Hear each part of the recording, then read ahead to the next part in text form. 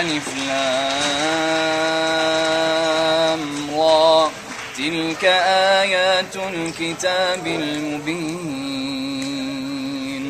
إنا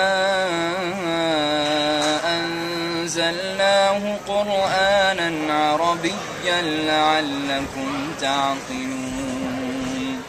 نحن نقص عليك أحسن القصص بما أوحينا إليك هذا القرآن وإن كنت من قبله لمن الغافلين.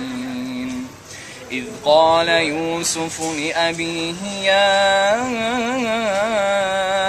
أبت إني رأيت أحد عشر كوكبا والشمس والقمر رأيتهم ساجدين. قال يا بني لا تقصص رؤياك على إخوتك فيكيدوا لك كيدا. إن الشيطان للإنسان عدو مبين وكذلك يجتبيك ربك ويعلمك من تأويل الأحاديث ويتم نعمته عليك وعلى آل يعقوب كما أتمها كما أتمها على أبويك من قبل من قبل إبراهيم وإسحاق. إن ربك عليم حكيم. لقد كان في يوسف وإخوته آيات للسائلين إذ قالوا ليوسف وأخوه أحب إلى أبينا منا ونحن عصبة. إن أبانا لفي ضلال مبين.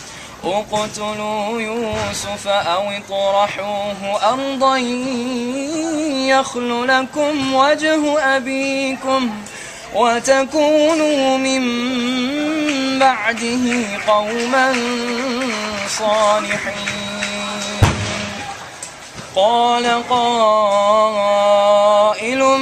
منهم لا تقتلوا يوسف لا تقتلوا يوسف وألقوه في غيابة الجب في غيابة الجب يلتقطه بعض السيارة إن كنتم فاعلين. قالوا يا أبانا ما لك لا تأمنا على يوسف وإنا له لناصحون. أرسله معنا غدا يرتع ويلعب وإنا له لحافظون. قال إني ليحزنني أن تذهبوا به وأخاف أن يأكله الذئب وأنتم عنه غافلون. قالوا لئن أكله الذئب ونحن عصبة إنا إذا لخاسرون. فلما ذهبوا به وأجمعوا أن يجعلوه في غيابة الجب وأوحينا إليه لتنبئنهم بأمرهم هذا وهم لا يشعرون. وجاءوا أباهم عشاء يبكون. قالوا يا أبانا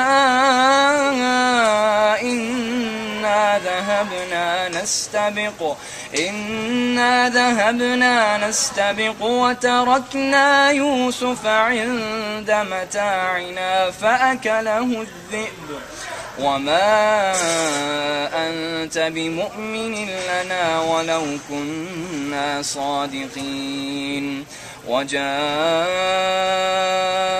على قميصه بدم كذب قال بل سولت لكم أنفسكم أمرا فصبر جميل فصبر جميل والله المستعان على ما تصفون. وجاءت سيارة فأرسلوا واردهم فأدلى دلوه.